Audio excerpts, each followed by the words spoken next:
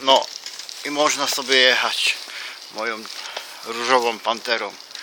Fajna taka sobie moja przyjazna dusza. Mój rower. No, na wesoło można lecieć z tematem. A kiedy tak przejeżdżam koło cmentarza, tam gdzie te lampki się świecą, no, a nie, wi- nie widać, nie widać.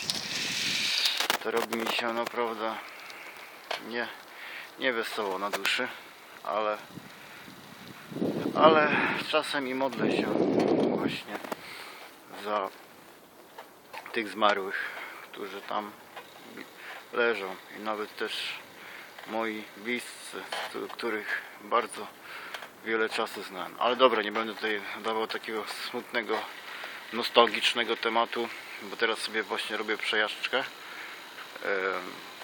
Taki relaksik po pracy. E, Puszek ze mną tutaj dotrzymuje mi towarzystwa, mój kochany wierny psiak. O, słychać normalnie jak mi przerzutki dźwięczą. Ale fajnie, fajnie, coś pięknego, cisza, spokój, nikogo nie widać, nie ma. O, robimy zakręt. Puszek biegnie. Za panem.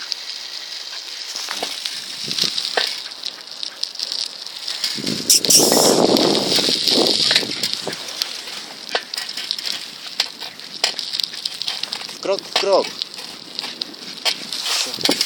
Krok w krok leci za, za mną.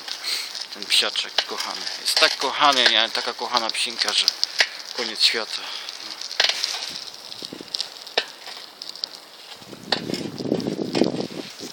No, jestem przy cmentarzu, się boję normalnie.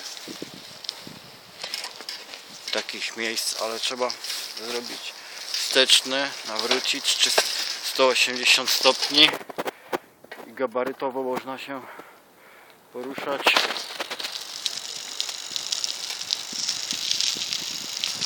Tym, tą oto moją różową landrynką z powrotem.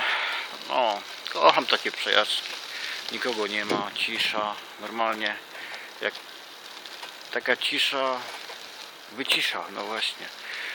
E, można by powiedzieć za 40 metrów będzie uskok.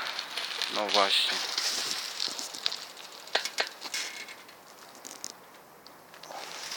Muszę jechać, zwolnić i jechać deptać 20 na godzinę. Bo takie tu mi przepisy, takie przepisy obowiązują. E, kiedyś, kiedy miałem jeszcze motocykl dość dużej, sporej pojemności, to to bu- pierdałem, buszowałem, jeździłem jak e, wariot po wsi.